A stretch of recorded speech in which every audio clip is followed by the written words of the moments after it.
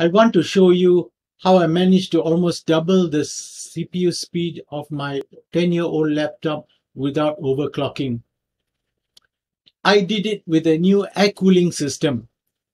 And if you're trying to speed up your CPU, your PC or your laptop by overclocking the CPU, why don't you try this first?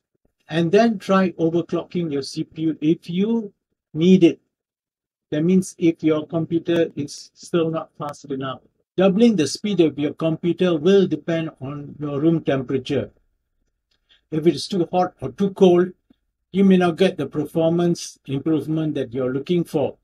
Furthermore, if your computer is an old computer, go get it serviced first. Make sure you don't have any dried thermal paste and replace it with fresh thermal paste and then clean up all the dust that is blocking the airflow. I did it to my old 10 year old Samsung and I got about 10 20% improvement in performance just servicing it, you know and that is really good. I will do another uh, video on how to simplify and improve this cooling technique because I am trying to source all the parts and uh, trying to look up for another desktop PC.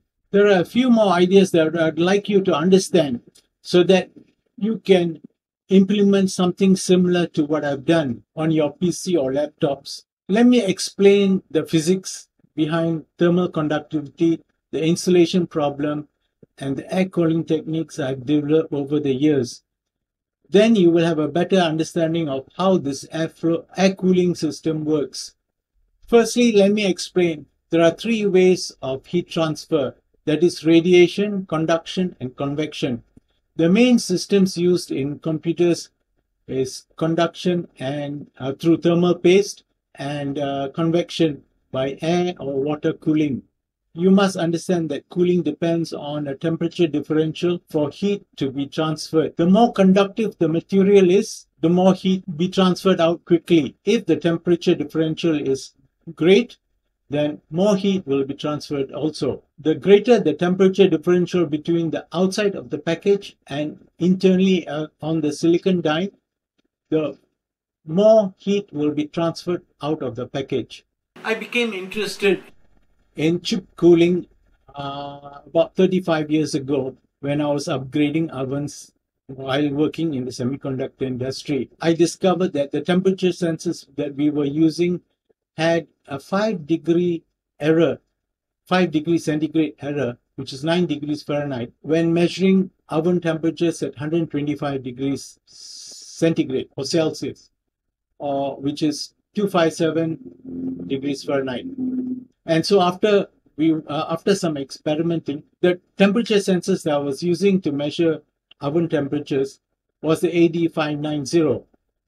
And and what I noticed was that thermocouples didn't give this error, only this sensor, and that was because it was a silicon die wafer that was uh, mounted inside a metal container. But the internal contents of the container was some uh, paste creamy stuff to protect, I guess, the the silicon die from electrical con- connection to the outside casing. So even though the sensor was exposed to oven temperatures of 125 degrees uh, Celsius, the die inside was electrically connected to some by some cables to the temperature sensor electronic board. And what was happening was the heat on the die itself was con- being conducted out through the cables, which were at room temperature.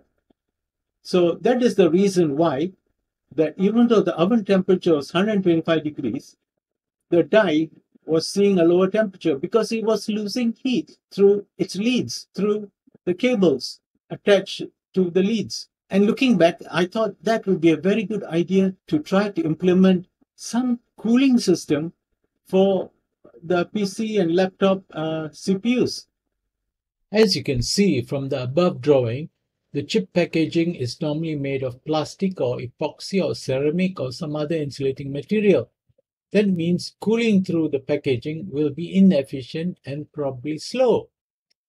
If you examine the metallic part of the chip construction, it consists of the leads and the lead frame and wire bonding attached to the tracks on the silicon die. Those parts would form good heat conductors. So, a good alternative is to try to cool the die through the leads. In this example, we can observe that a fan blowing onto the top of the package will not be that effective as it will be cooling the package directly and in so doing indirectly cooling the die. Whereas if we blow the fan at the leads of the chip, we will be directly cooling the die inside quickly. Let me explain the terms used. The motherboard has most of all the components on one side and this is called the component side of the motherboard. The underside of the motherboard is mostly solder of pins sticking out and this is called the solder side of the motherboard. There is one exception to this and that is the Taiwanese manufacturers of motherboards call the solder side the back side of the motherboard because they do have some surface mount chips there too.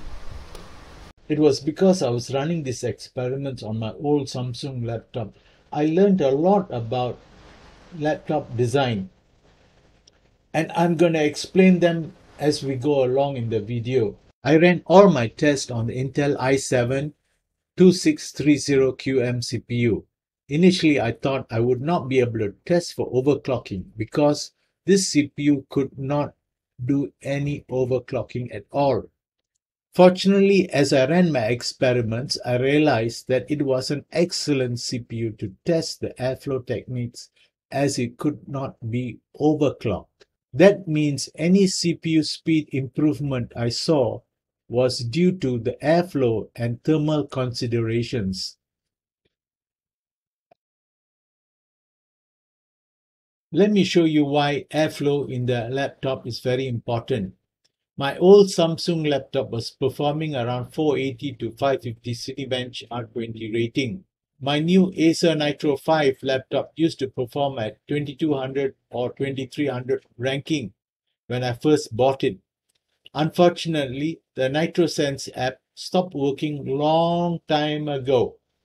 It was the app that controlled fan speed. Today, there is only a fixed fan speed on this Nitro 5 laptop. So from the chart, you can observe that on a warm day, the Acer Nitro 5 laptop can begin with Cinebench R20 rating of 1930. But as the CPU warms up, the ranking drops to about 1600. On a cool day, the ranking begins from a lower value of 1210 and as the CPU warms up, its speeds improves to 1600. From here, we can deduce that for laptop CPUs, a room temperature that is too low or too high will slow them down. They will take some time to adjust to an operational temperature. This may be much slower than expected if the cooling fan is not working properly. So you can understand why sometimes the cooling fan will not turn on because the room temperature is too low. At higher room temperatures, if the fan is not fast enough, you will end up with a slower laptop. There was additional information I learned from running all these experiments. It's amazing how well designed CPUs are. You can see that the performance jumps in steps or quantums. Why? Let me see how to explain that.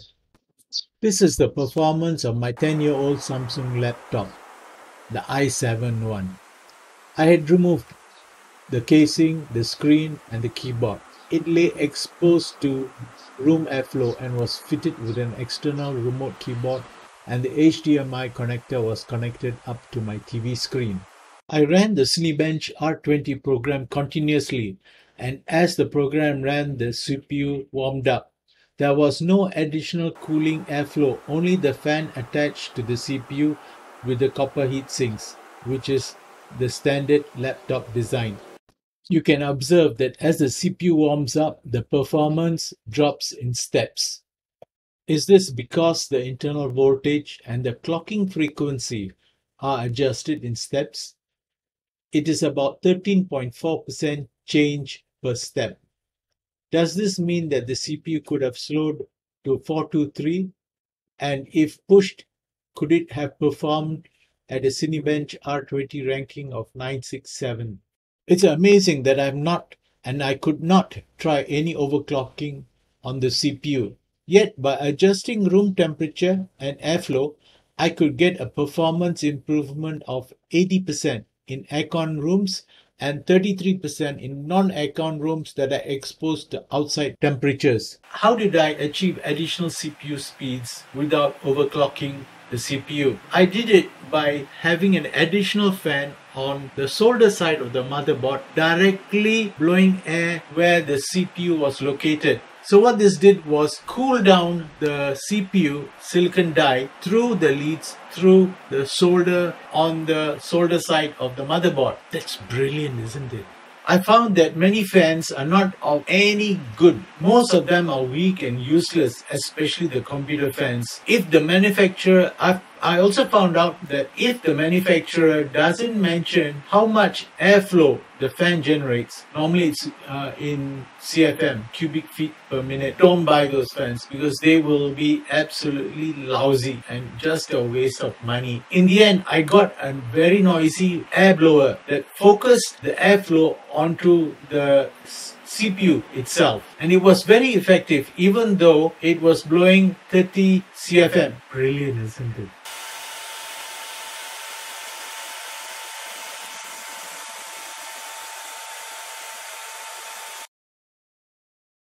As a result of these experiments, there would be more effective cooling if the solder side of the motherboard had cooling fins sticking out to catch the airflow.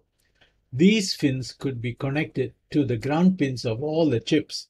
It is even possible for cooling pins to be embedded within the silicon die of the chip and are exposed to the air circulation through the solder side of the motherboard. This is how I managed to achieve 863 ranking on Cinebench R20 by stuffing a Sanyo blower into my laptop to force air onto the solder side of the motherboard. I did this experiment at the air-conditioned Digimod where the temperature was 24 degrees centigrade or 75 degrees Fahrenheit. There are three more experiments I would like to carry out. Firstly, I would like to source a more silent fan and a more powerful fan. Secondly, I would like to test this with a desktop PC that has a CPU that allows for overclocking. This is because I want to know whether when I have uh, solder side cooling, would the CPU automatically overclock the PC? And thirdly, the most interesting test I would like to carry out is if I remove the water cooler or air cooler on the component side of the CPU, the motherboard, and just have a, a strong air blower on the solder side of the CPU, would that work? Would it still allow overclocking?